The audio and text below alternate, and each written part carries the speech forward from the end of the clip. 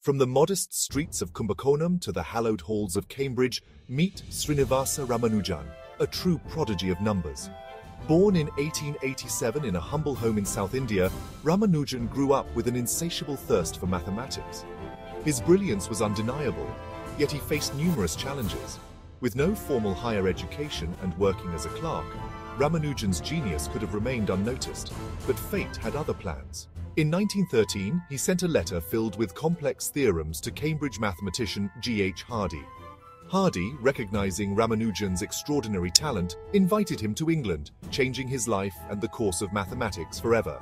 Together, they embarked on work that would pioneer fields like analytic number theory and partition formulas.